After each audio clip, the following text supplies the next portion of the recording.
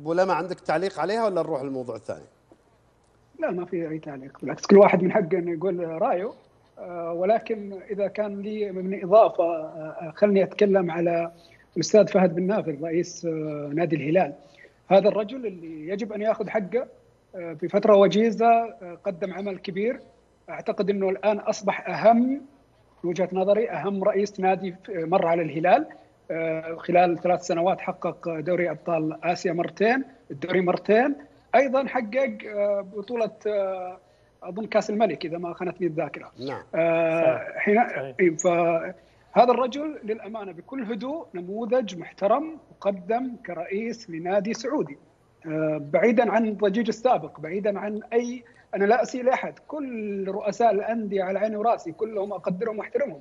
ولكن أنا أتحدث عن نموذج مختلف نموذج جميل فبالتالي من حق هذا الرجل أن يأخذ آه، قيمته الحقيقية والمساحة اللي يستحقها. صحيح. آه، في نهاية الأمر أبو بدر يمكن آه، في تصريح مر على الإعلام الهلالي آه، مرور كرام للأستاذ فهد المدرج يعني الهلال موعود في بطولة السوبر قاب قوسين أو أدنى هي مباراة واحدة وسيأخذ البطولة السادسة في عهد فهد بن نافل ولكن في تصريح مر مرور كرام لم لم يناقشه الإعلام الهلالي وأنا أرى إنه إساءة كبيرة للهلال. حينما يقول الأستاذ الذي اقدره وأحترمه فهد المدلج إنه أنا قلت للأستاذ فهد بن نافل إنه اترك لنا بطولة السوبر زكاه لبطولة الهلال. هذا إسقاط أنا لا أرضاه. يمكن يمزح يمكن يمزح يا أبو لا لا لا خليني آه. أكمل الجزئية. آه.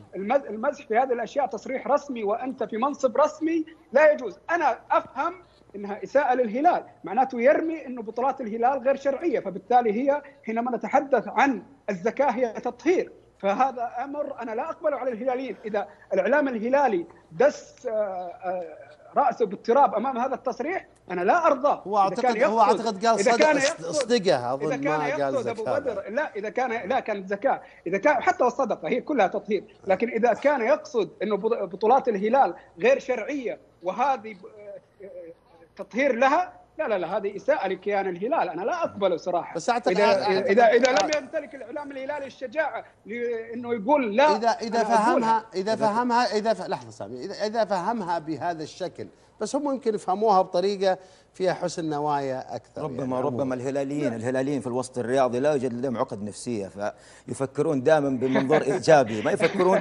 بهالأفكار والمؤامرات. صحيح صحيح. ولكن إذا كانت صدقة فالأقربون أولى بالمعروف يتصدق الهلال بدوري أبطال آسيا للنصر عشان يكون عنده بطولة دوري أبطال طيب آسيا طيب. ويترك الفرق الثاني. خلينا خلينا نتذكر ودام نتكلم عن البطولات. خلينا نتذكر